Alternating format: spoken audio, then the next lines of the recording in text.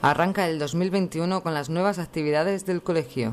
En el desayuno de trabajo el invitado ha sido el delegado de la Agencia Tributaria en Murcia.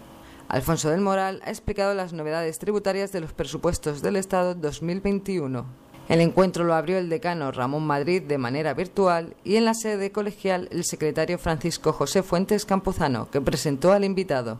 especialmente a la agencia tributaria y en la persona de, de don Alfonso el que nos acompañe, esperar que sea pues bueno, de vuestro agrado y del agrado de todos.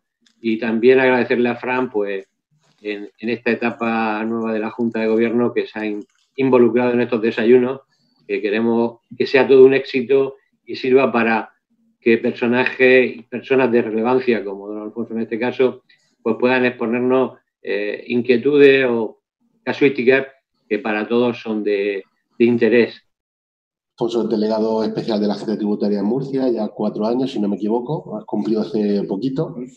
Antes había sido inspector jefe regional y bueno, pues viene a compartir con nosotros eh, un poco las novedades tributarias que se, nos, que se nos han puesto delante, sobre todo a raíz de la, de la reciente aprobación de la ley de presupuestos. Llevamos mucho tiempo sin una ley de presupuestos nueva. Y eh, bueno, eh, comentábamos en el, café, pues eh, eh, que, sí que es cierto que, que, hay, que hay reformas que no son a lo mejor de excesivo calado, pero que sí que tenemos que tener eh, en cuenta. El primer desayuno celebrado en diciembre tuvo objetivo presentar la publicación del Consejo General por parte de Salvador Marín, guía sobre mercados cotizados para pymes.